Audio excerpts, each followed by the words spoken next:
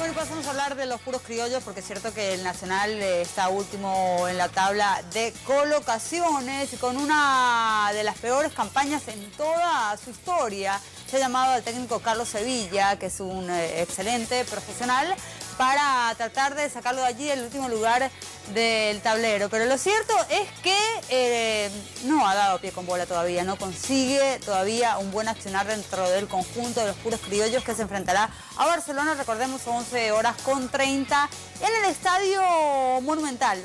Sí, es una lástima, eh, que, que el público se vaya a perder acciones de circo. No lo digo yo, lo dijo Carlos Sevilla. Y para mí sí, fueron fuertes declaraciones porque se refería al jugador Nahuel Pan, con todo el respeto que tengo porque creo que Carlos Sevilla es un excelente técnico a nivel nacional e internacional.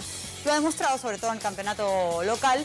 Y bueno, pero realmente Nahuel Pan eh, está ausente por un tema de tarjetas amarillas, por, también por eh, que recordemos que se dio el suceso de nacimiento de su hijo en Argentina y por eso tuvo que viajar.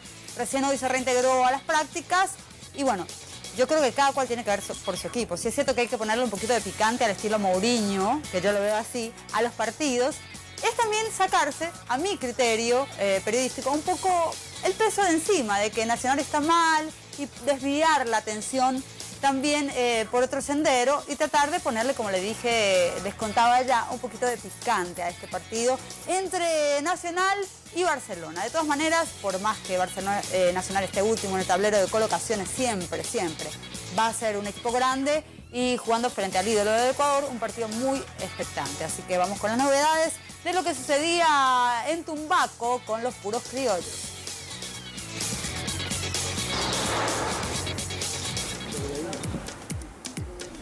Festejos por los cumpleaños de Marvin Pita y Edison Preciado, el Nacional cumplió con una de sus últimas prácticas previo al duelo ante Barcelona. La motivación incrementa por parte de los futbolistas, quienes solo piensan en ganar. Sí, sí, por supuesto. Dios quiera que se dé. Esta semana eh, es muy bonita y especial para nosotros, eh, tanto a Pita como, como la mía, esperando que, cierre la semana con un triunfo del club.